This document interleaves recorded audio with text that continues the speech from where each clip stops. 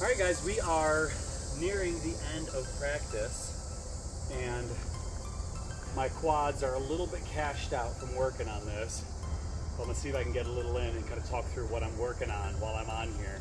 So the big thing is to let go gently and try to be centered over this while resting the butt, the weight through my butt, through my taint into the unicycle. Let go slow.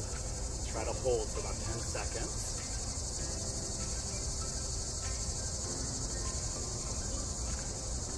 Ooh boy, just trying to talk while I do this is really tough.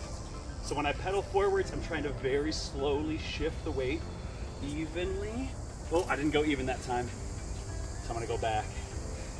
Try to keep it even through both pedals and not drift towards the side I'm pressing down with. Weirdly enough, the center of the rope is the wiggliest, but is also the easiest part to balance on here near the edge, I have very little play in the rope and all the weight is in my forward foot. When I go backwards, I have to very slowly, yeah, so I don't get a bunch of momentum going.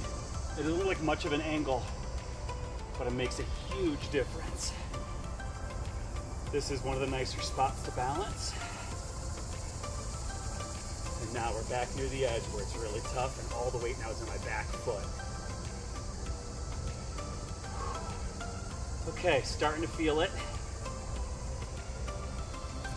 Oh man. Let's see if I can get there and then back to the middle. Awesome, going back slow. Nice, let's get one more pedal. And now dismount. Okay, dismounting, still a little scary. Ah, but I'm making progress. Want to show you guys kind of where it's at and how things are advancing. It is terrifying. I'm focusing so hard on my spotting point ahead of me that everything goes a little blurred. I'm trying to relax and breathe so I can take it in. And honestly, this challenge of just chatting with you guys while I'm on there and splitting my focus, oh man, that is next level for me right now. Well, I hope you're having an awesome middle of your week.